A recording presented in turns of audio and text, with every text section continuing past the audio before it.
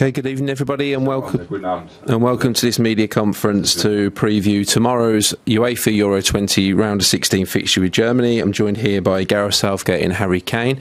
Before we start taking your questions, just a few housekeeping notices. Uh, ideally, if you can wear headphones, as and when you ask your question, to improve overall audio quality. And when you do step forward to ask a question, please state who your question is for clearly. So, whenever we're ready, we'll start with raised hands and we'll get underway shortly with Simon Peach from the Press Association. Hi, Gareth. Um, question for Gareth. Um, I'm sure you're sick to the back teeth of questions about Mason Mount and Ben Chilwell, but um, what is their situation and will they be involved in the squad and have they travelled down? How does that all work? Uh, well, they're having to travel separately to the team, so um, uh, they've had, as you know, um, individual training programs this week. Um, the only sessions they've been able to join in with us are when there's not full full team training. So um, that's the that's the basis on which we've got to make the decision. Um, and then as from midnight tonight, they can be freely back with the group.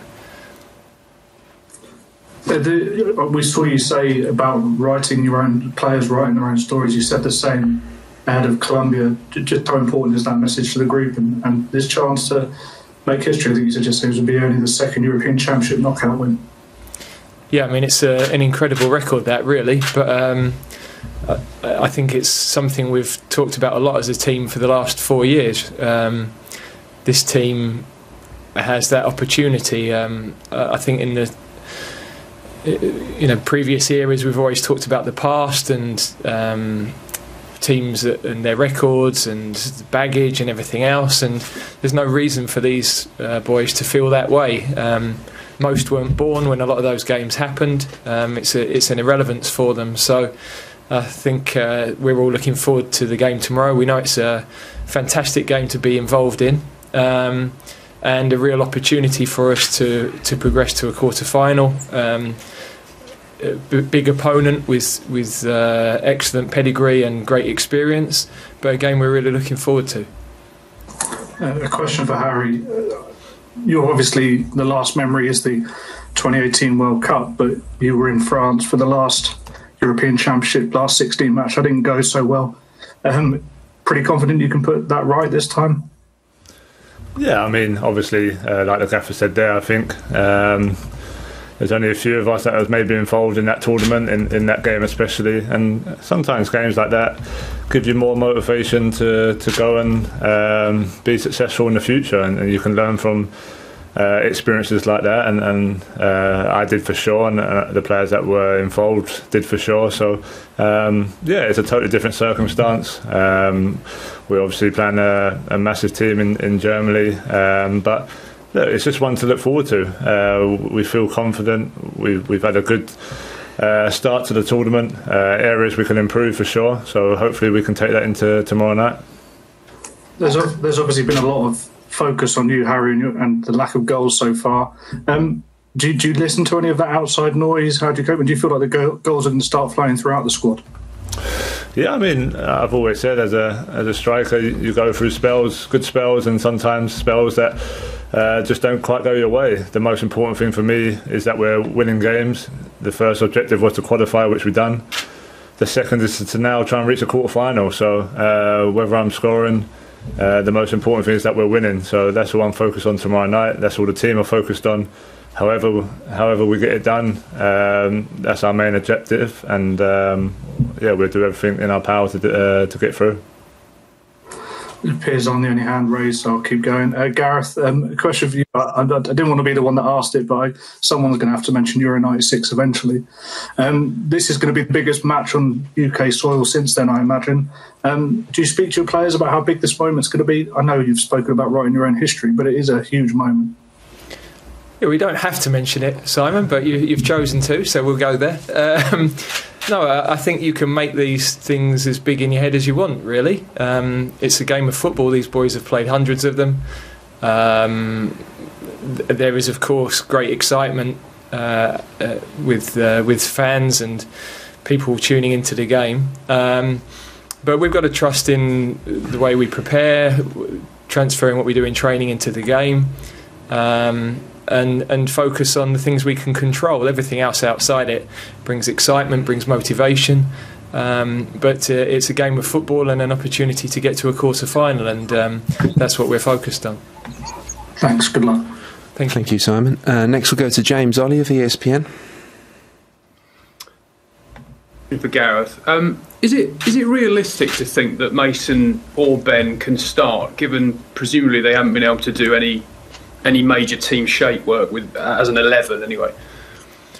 Well, clearly it's it's really complicated because um, there's the physical periodisation that you would want for a game like this, and then there's the um, the tactical training. Um, they've had to uh, the meetings we've had, they've had to be in a separate room and, and dial in on Zoom, and so uh, the whole experience for them, uh, including travelling down tonight, is is uh, very very difficult. But um, you know they're they're uh, young players who uh, I think can get on with things pretty well. Um, as I said, it's a decision I've got to take um, when when we're we're looking at how they've been able to train and everything else. So there's there's a lot wrapped up in that call. Sorry, James, you're you get a full week. Sorry, James, you start that one again. You're on mute.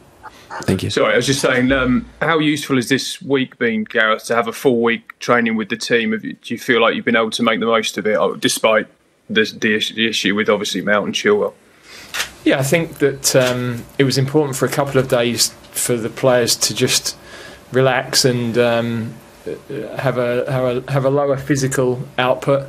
Um, it it would have been a very long lead in otherwise, and um, now we've been able to get a lot of work done in on the training ground, um, some tactical work which is important for this game in particular. So um, yeah, that's that's an unusual uh, opportunity for us. Um, it's probably the, the longest period we've had in 12 months to to work with the team. Thanks. Thanks, James. Uh, next, we'll go to Theo Squires from the Liverpool Echo. Hi, I've got a, a question for both of you. I'll start with uh, Gareth. Um, reports today saying that Jordan Pickford could be one of your penalty takers. Obviously, your last two major tournaments, he's been a big part in penalty shootout victories. It's a game against Germany. Penalties are always going to come up. Um, when you've already entered this jinx, how important is Jordan going to be um, against the Germans if it does go to penalties? Well, there's obviously a lot of football before that moment, and um, first and foremost, we've got to get the, the 90 minutes right. So, um, but in that eventuality, the first thing is he's he's a very very good um, at stopping penalties, and that's uh, psychologically for us a very important uh, position. Um, and most goalkeepers are good strikers of a ball, really. So he, he's he's done it before. Um, obviously, everybody has been practicing. That's part of the process we go through. But um, yeah, as I say, his uh, his ability to save penalties is uh, is a great thing for us.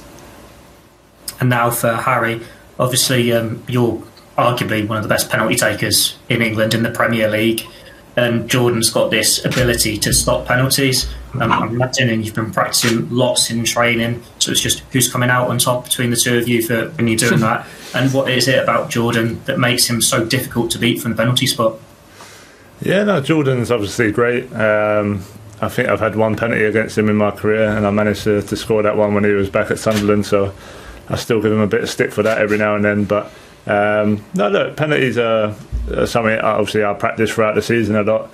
Uh, I wouldn't say I've done a load more than what I normally do since I've been away with England. So obviously we have three keepers here with the squad, so they're always chopping and changing uh, when when the lads are practicing. So. Um, yeah, like I said, Jordan's Jordan's brilliant. It's great to have his um, all the training he does, and obviously the confidence he's took from the last couple penalty shootouts we've had with England. Um, whenever that's called upon, hopefully, um, yeah, he'll stand up like he has done for, for England in the past. Thank you, Theo. Next, we'll go to Rob Harris of AP. Hi, Gareth. Uh, good luck for tomorrow. Um, just wondering what you made of Mark Bullingham's praise and whether you it's a conversation you want after the tournament about signing that new contract beyond 2022, or if it's something you'd prefer to wait even after Qatar. Uh, I think that uh, I said yesterday, um, any manager is going to be grateful for total backing of the board and um, uh, and our chief executive. So, from my perspective, that's obviously. Um, uh, I know that that's a private conversation that I've had that support, um, but as I said yesterday, you know, in the end, internal backing is support important, but in this role in particular, external backing is just as important. And uh, I always think uh, to discuss contracts around tournaments in the past hasn't been the right thing. Um, and we were certain we weren't going to do that before this tournament. We should see how this goes. So all my focus is on the game um, and getting this team as far as we possibly can. Thanks. Thanks, Rob. Uh, okay, next we'll go to Scott Wilson, the Northern Echo. Hi, Gareth. Um, Gareth, you obviously got the opportunity to play um, in 1996, you know, in, in, massive tournament games in front of a home crowd at Wembley. You, you, you, created, you know, some great moments, some great memories out in Russia. But just how big an opportunity is it for this group of players to, you know, potentially create those memories at Wembley in front of 40,000, hopefully 60,000 if the tournament goes on? You know, it, clearly this is they're not going to get a chance to play another tournament at Wembley. So, just what, how would you kind of put into words what, what chance that is for them? Well, I think every time you pull an England shirt on, you have the opportunity to score a goal that will be shown forever, um, and to to create a bit of skill or to be involved in a match that lives in the memory, and that's the beauty of playing for your country. You know, I think if you think of all the big players in history, of course, club European football, there are there are significant memories, but when you picture those great players, it's normally in an international shirt that, that the most that their biggest memories are formed, and um, that that is the case every time you pull on an England shirt. So it, it is a, an opportunity that few get, and these lads have uh, have earned it, and um, I'm sure they're going to relish that. Thank you, Scott. Next, we'll go to Nizaar Kinsella from Goal.com. Hi, Gareth. Um, I wanted to ask you um, you've been one to praise boys going overseas in the past. Um, how important do you think that link is still between German and English football? Uh, and do you see it continuing? Um, and, and, with that in mind, I just wanted a word on Musiala as well, who, who maybe will have a you know mark on the match after being in you know the England picture for a while. Yeah, well, we we have um, you know one of the things we did um, after the World Cup in Brazil, you know, we did a big study on Germany and um, uh, their development program, their youth program.